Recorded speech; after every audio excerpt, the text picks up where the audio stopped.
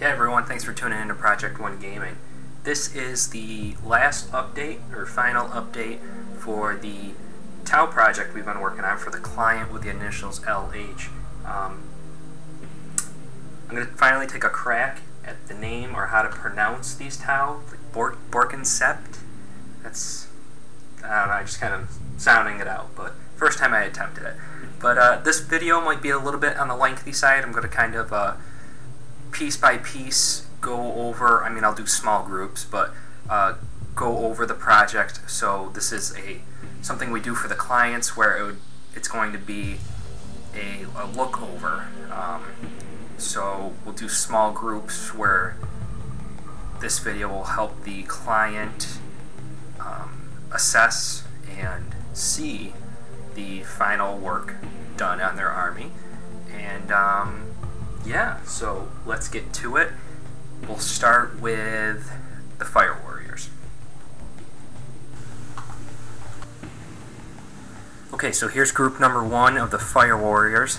Um, one thing that we liked and want to obviously mention is um, the small weathering effect we put on the ends of the pulse rifles to kind of give a um, the illusion of you know they, they've been firing the weapons um, the weapons the tips of the weapons have gotten hot or it's just soot from the um, you know the firing of the weapon. So I'll turn a couple of these around so you can see what the backs look like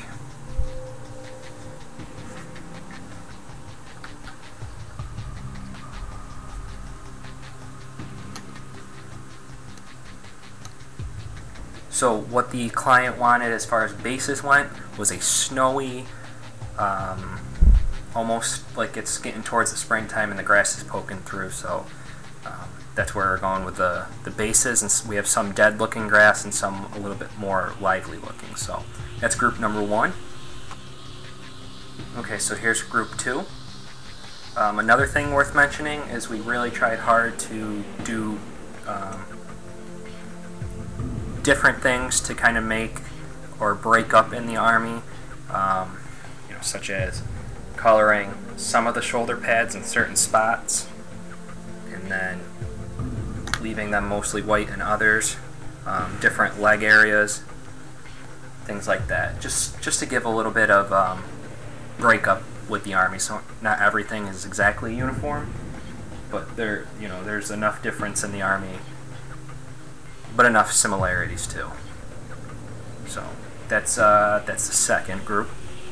All right, so next is the sergeant. Um, you guys have seen this already, but just because this is the final overview video, I'd like to show them one more time.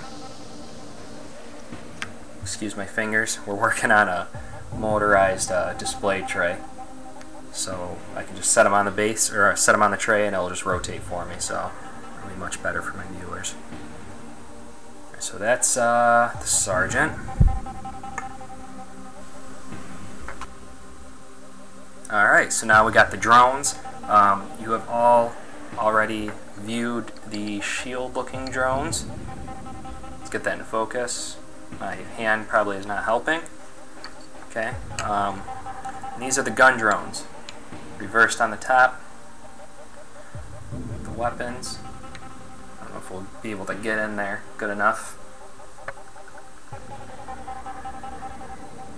There we That's a little bit better. You can see the red icon and obviously the metal bottoms. So those are all the drones. Uh, yeah, four, whoop, get back focus, four gun drones, two, three, four, and then the four shield drones. Okay. Alright, so again are the crisis suits. You guys have seen these in uh, previous videos completed, but again, showing them off one last time. Still, I still think this guy right here, he, he took the win on the best looking model for me. Okay, so those are the crisis suits. Alright, and last but not least is the hammerhead. Uh, again, you have seen this in an earlier video completed, but last time with the overview here. Um, the Both of these side Gatling turrets come off. Okay. Both exhausts come off. And same with the rail. So, really enjoyed this project. I hope you guys enjoyed following along with us. If anybody has any questions about any commissions that they would like to have done, please email us at project1gaming at gmail.com. Don't forget to check out our Facebook. Uh, we will be posting up a gallery shortly of this project and all the finished pieces. And I hope you guys enjoyed. Take care.